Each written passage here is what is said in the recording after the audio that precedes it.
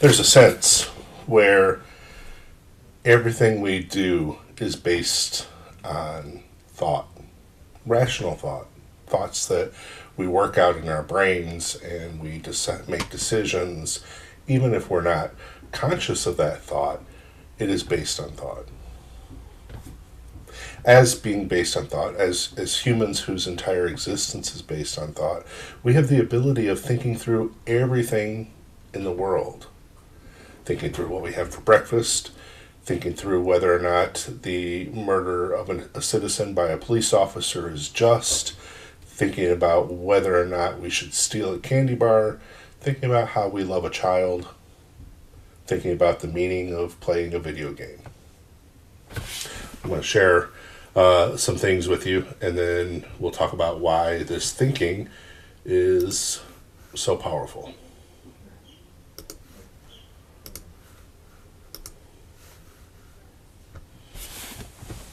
This is a, a, a claim that's out there about Wikipedia that if you go to any entry on Wikipedia and then you click the first link and then you just keep on clicking on the first link within each entry, you will always end up in the entry for philosophy. So Grand Theft Auto leads to motor vehicle theft, which leads to crime, which leads to form of governments, which leads to state, which leads to polity, which leads to an entity, which leads to existence, which leads to ontology, which leads to philosophy.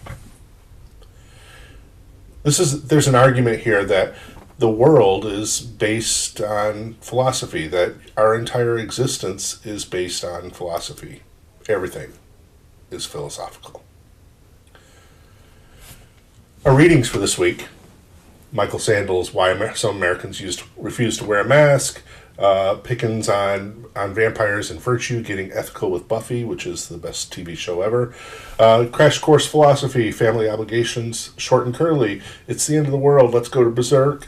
Uh, Lewis, Representative, Representative John Lewis on finding moral identity, and uh, Frost on the ethics of role playing video games. Each of these readings is applying philosophy, or each of these talks, or each of these videos, is applying philosophy to a particular element of our lives, of our current lives. I'm giving you a, an expansive readings this week so that you can think about how philosophy might be applied to different situations. And, and in particular, this is a particular kind of philosophy situational ethics, applying ethical thinking to different situations. It's wrong to steal a candy bar unless perhaps the person who is charged uh, has the candy bar has millions of them and is charging $10 per candy bar maybe their actions are so unjust that it's ethical to steal a candy bar. It is wrong to um, to physically restrain a child, to be to to be almost physically violent with a child, unless perhaps that child is getting ready to run out in the street in front of a semi. It is wrong to tell a lie, unless telling the lie is a worse damage than uh, uh unless telling a lie keeps you from a greater damage, say destroying someone's self-esteem when you tell them that their hair looks horrible situational ethics allows us to take whatever ethical framework we work in, and we've been thinking about those in the past few weeks, and apply it to different situations to decide what is the best course of action. That is an act, act, active philosophy. That is making philosophy active. It allows us to take our ways of thinking and apply it in the worlds in the world. All of this is a way of leading us to our project. This is your second project for the philosophy course. Your first projects are coming back to you very soon. I, I promise upon the soul of my mother, your first projects are coming back very soon. Um, the, your second project. This is your last opportunity in this class outside of the final exam to allow me to know that you are doing this reading and you are thinking about it. And I've got to say, some of your your uh, discussion board posts don't show that. Your reading notes for about half the class show it, half the class not so much. This is your last opportunity to take something on your own and make it meaningful. So here's your project.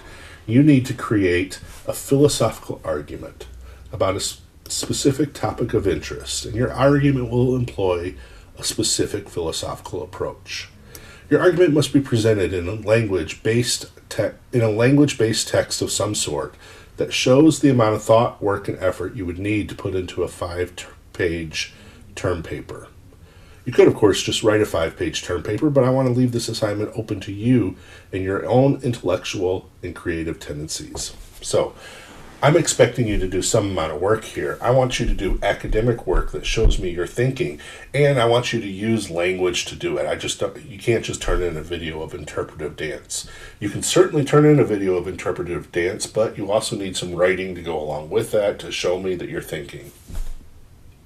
Because you may your interpretive dance may be the most brilliant interpretation of philosophy ever, but if I don't understand it because I don't know anything about dance, because I do this kind of dance I, if I can't understand your philosophy, then it's not working. I need language here to help me do that. Your project must meet the following requirements.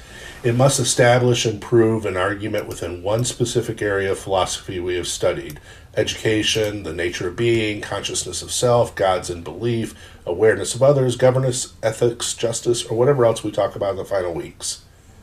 It must use at least two of the texts we have read for class as building blocks, support, or counterpoints to the argument. Use here means that you provide details from the text that are related to your argument. It does not mean passing general references. You can't say Aristotle said Bleh, and then just never talk about them. I don't want a broad reference. I want you to, to see that you're using the text.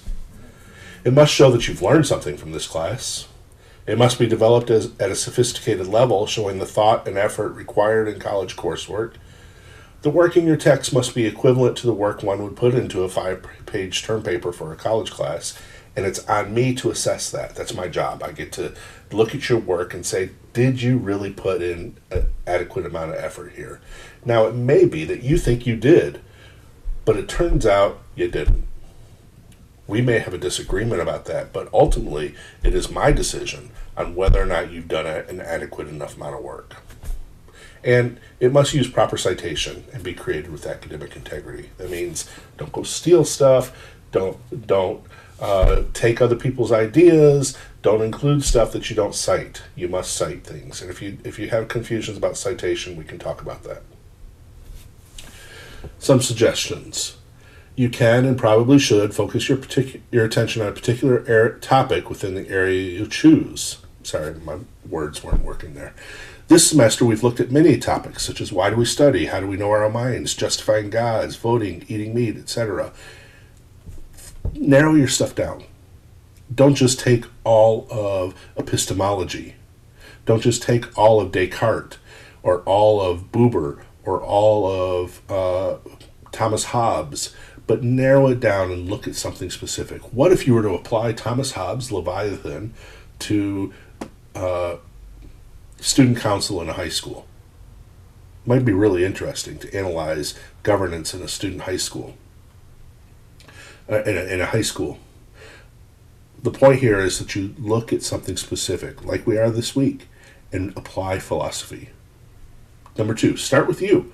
What have you learned? What do you care about? How have your ideas, your thinking, your arguments changed this semester? What caused the change? And and there, I'm actually, you know, we're talking about um, specifically what caused the change in your thinking from this class. You may have had other experiences. You may have gotten sick with COVID. You may have worked too much. You may have broken up with somebody. That changes your thinking as well. But I'm I'm interested, of course, in philosophy. Go through your readings journal. What caught your attention? What concerned you? What does your show, journal show that you cared about? Review the textbook. Rewatch a video review your exam, find ideas in your course material, go back and look at old lectures, go back through our discussions. What did you get right and what did you get wrong? Think about a social matter matter that mat, sorry, a social issue that matters to you and then apply philosophy to it. Here's a really strong recommendation. Avoid the internet. I mean, don't avoid it because we can't avoid it, but don't go there as a source for your thinking. You can use it to find text or evidence, but don't go look up philosophy project to find ideas. That that's the road to plagiarism. If you decide you want to write about uh, the Avengers movie and you want to use philosophy and you go look it up on the internet, you're going to find lots of stuff out there doing philosophy and the Avengers. And if you go and take those ideas and try to form them as your own, that's plagiarism. And then um, the last thing is start now, don't wait. You got a few weeks. We're going to be workshopping ideas next week.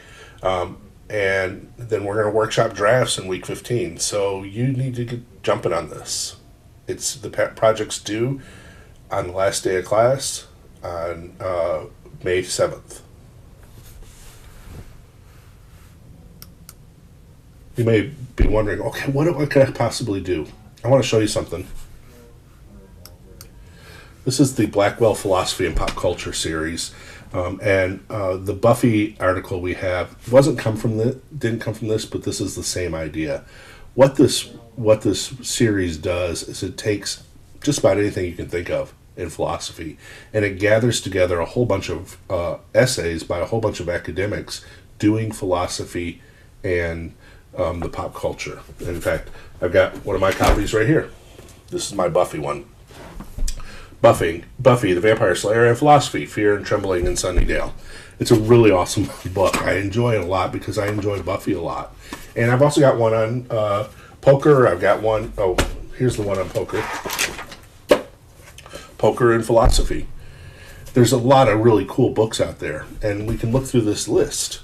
Um, 30 Rock and Philosophy, Batman and Philosophy, Family Guy and Philosophy, uh, Iron Maiden, Iron Man and Philosophy, the Terminator and philosophy, The Walking Dead and philosophy. Most of these are TV shows, but there there are a lot more like Legos and philosophy or um, just about anything you can think of. And this isn't the only series out there like this. And the reason why I'm pointing these out to you is because what this shows you is that you can do anything you love, anything you focus on, and you can apply philosophy to it. That's the whole point of philosophy, is for us to see how logical thinking and rational argument and really good support allows us to find the meaning of the things that we do.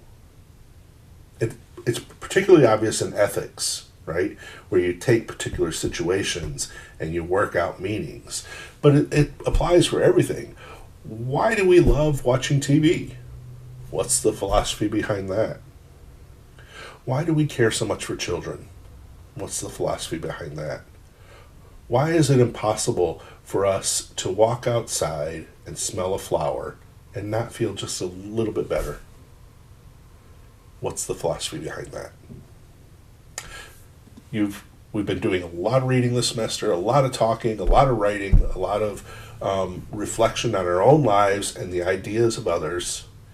Now is the time for you to find something you care about and make it meaningful. Go apply your ideas to something that matters to you. Don't just pick a big topic because it's a big topic. Who cares about abortion? Who cares about um, about uh, pro, uh, police violence? Who cares about uh, whether or not Donald Trump was an, a criminal? I mean, of course, we all care about those things, but maybe there's something that is much more specific to your values, your life, and your meanings. Find that and apply our philosophy. I hope you know by now